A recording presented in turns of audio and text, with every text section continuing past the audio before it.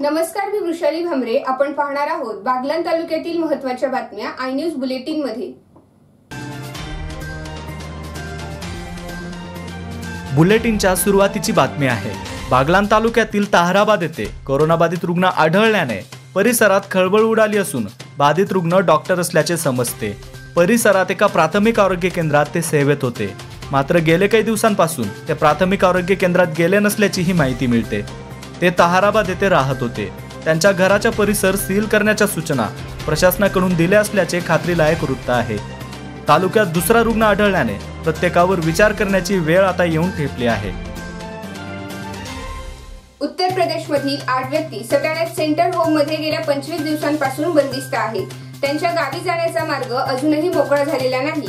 यात पाच वर्षाच्या मुलीचाही समावेश आहे. पालिका प्रशासनाने लक्ष दिल्यास या मजुरांचा गावी जाण्याचा मार्ग मोकळा होऊ शकतो.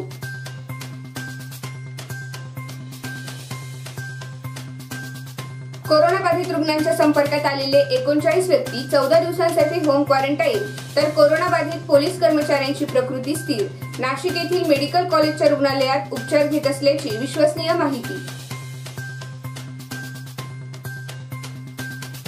सकाळी सात ते दुपारी तीन पर्यंत अत्यावश्यक सेवा सुरू. तीन वाजेनंतर रस्त्यावर फिरणाऱ्यांवर कार्यवाही पोलीस प्रशासनाचा इशारा.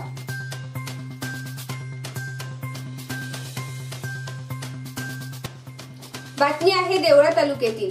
लॉकडाऊनमुळे शेतकरी मोठ्या संकटात सापडला असून मिरचीचे पीक तोडून फेकण्याची नामुष्की चिंतामण अहिरे हिरामन शेवाळे यांच्या नशिबी आली आहे. त्यामुळे शेतकऱ्यांना आर्थिक संकटाला सामोरे जावे लागत आहे.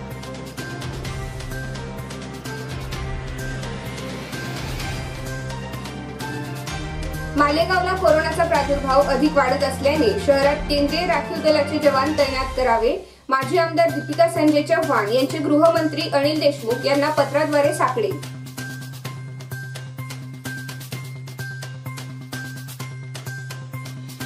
देवळा येथील प्रयोगशाळा अधिकारी राजेंद्र येवला रवींद्र निकम हे मालेगाव येथून कोविड नाईन्टीनच्या युद्धातून आपली आरोग्य सैनिकांची सेवा देऊन परत आल्याने त्यांना देवळा विद्यानिकेतनमध्ये सुरू करण्यात आलेल्या कोरोना सेंटरमध्ये मानवंदना देण्यात आली.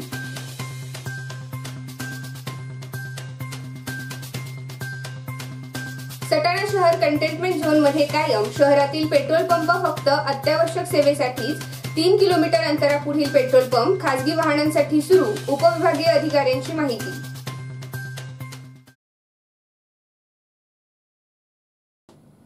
कोरोनाला आपल्या बागलान तालुक्यापासून दूर ठेवण्यासाठी घरातच राहा प्रशासनाला सहकार्य करा व स्वतःची काळजी घ्या. आपल्या परिसरात कोणी नवीन व्यक्ती आल्यास तात्काळ पोलिसांशी संपर्क करा असे आवाहन आय न्यूजच्या वतीने करण्यात येत आहे.